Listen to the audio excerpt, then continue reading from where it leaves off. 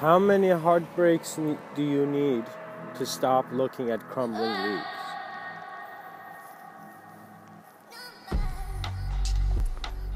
The reason this episode is titled this is for us to recognize and be aware that if I looked at a leaf on a ground filled with a lot of leaves and I was bothered by how each shape was being changed, if I was bothered by uh, that scale of change, how many heartbreaks would I have? How much change would change me. When we think in these terms, we're not really thinking. We actually are just aware of things. Similar, it's it's it's as if the reason gravity was profound is because we all stopped to see what's going on. And so life holds many patterns that are new to us, that we will discover to be new. And so the blend of your consciousness and the action that you are now is really based on what you are in your environment. Your greatest understanding of yourself will come from the you that is most observable. Observable all of it. And also understand there's some elements of yourself you cannot observe but you may you all you have always known. You know it.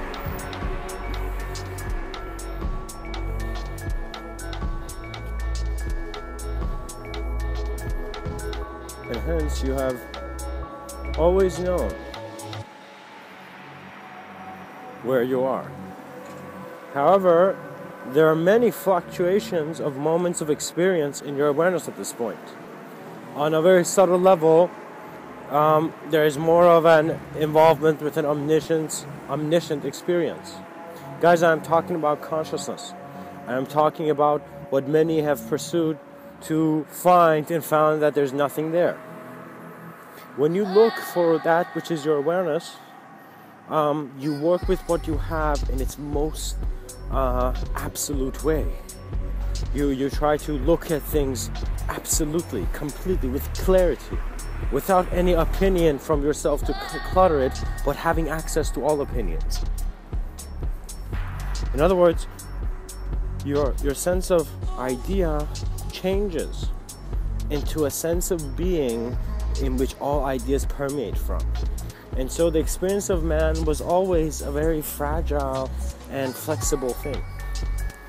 Your experience as a human being can alter you, your experience will no longer be identified in the limited range of what is known as human experience. And therefore, one may even profoundly perceive that we too are a gaze of a deeper eye. And when I say eye, guys, it is not symbology, it is not some weird thing. It is sight, it is vision, it is presence. You're present. You know, I'm not talking about anything. A lot of what I talk about can be applied to yourself uh, when you are in solitude or in isolation. Because in isolation, one may re become to actually re look at their awareness. They can really look at themselves and see what is bothering them, and in a sense, drop the act. Once you drop the act, you realize that your depression and your pain was because you're trying to keep a sense of self in a certain state of behavior, but you naturally you're naturally not gravitating there. So you need to begin with self-awareness and so a comfort in really seeing who you are and be yourself. Sometimes we ask questions and they're not even our questions. I found myself to answer some of my own deepest questions, but at the same time, some basic things I ask and I notice it's not even me asking. It's just the voice that was present in another condition that was similar to that. So such resonance is one where rootness cannot continue. Where if your if your mind is not aware of what is going on, where are you? You know?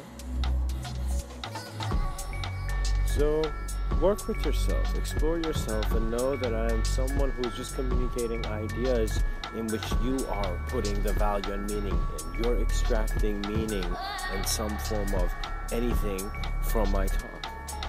so as you extract from my talk, really look at where you're extracting from, why you're making these decisions, why you believe in this, why you don't believe in this, why you know this, why you don't know this, you know. Look at all this stuff because the absorption of the idea, which is this transparent lens that is the self, is one that is a gift of revelation. And so give yourself a gift of revelation.